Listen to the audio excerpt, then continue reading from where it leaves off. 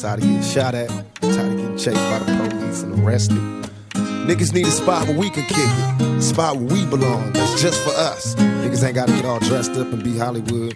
You know what I mean? Where do niggas go when we die? Ain't no heaven for a thug nigga. That's why we go to Thug Mansion. That's the only place where thugs getting free and you gotta be a G. At Thug Mansion. A place to spend my quiet nights.